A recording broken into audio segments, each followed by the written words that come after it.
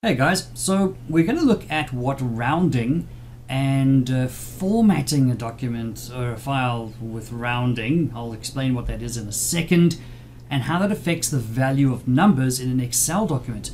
Have a look here guys, so we've got these numbers, alright? Some of them have got decimals, some of them have no decimals, some have got two decimals, one decimal, or two decimals, or 0508 at the end, as you can see. Now let me show you what formatting it to make it have fewer decimals looks like and then we'll look at what using the round function does and see how it actually changes the value of numbers depending on what it is you're wanting to do. So I'm going to take these numbers here in column A. I'm going to copy them and I'm just going to paste them over there. Okay. Uh, color it in again. There we go. So I've got these numbers now. So let me show you what happens. I'm going to go to uh, B2 and in my number group, I have an increase decimal option and a decrease decimal option. Now if I decrease and I click, you can see nothing's happening because there are no decimals in this number. If I increase the number of decimals, there were no decimals, so it's just giving me zeros, as you can see. And each time I click, it gives me another zero. So there's one aspect. So the number, the whole number, doesn't change. So that's not affected, which is great. But have a look at this one now. So I'm on 86.78.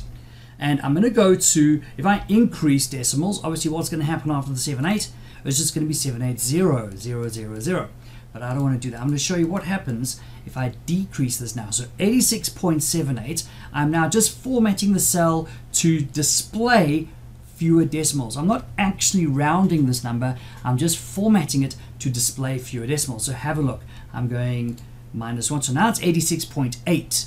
I'm going to go one more time. 86 becomes 87. Now, although we can see 87 in the cell, if we look at what the actual value of that cell is, or the value in that cell, it's still 86.78. This has major implications if you're calculating something, especially if you're working with finances or statistics. You must be aware of this. Let's do it with the rest of these. I'm going to select all of these and I'm going to decrease the decimals. Right, so now we've got 99.9 becomes 100. 99.99 becomes 100 but you will notice that as I click in any one of these look at the value in the formula bar all right it's the original value it's still there even though we're seeing a different number very very interesting let's see what happens if we use a round function instead so I'm going to start from here, or you know, sorry, Mr. 52, let's put you with the others. There we go. I'm going to start in cell C3, and I'm going to use the round function. So equals round. Uh, the number, I'm going to choose the original number. There it is, 86.78. Click over there, and we're going to round it off to zero digits. And let's see what the number becomes. Zero, and enter. 87. Okay, good. So far, so good. I'm going to just take that down. There we go. So as you can see, it's rounded it off. Now, you might be thinking, okay, but they're the same. Let's check that out. So if I go here in column D and I go equals, I'm just going to check what is the actual value of C3. If I click equals C3 and I press enter, now this is interesting.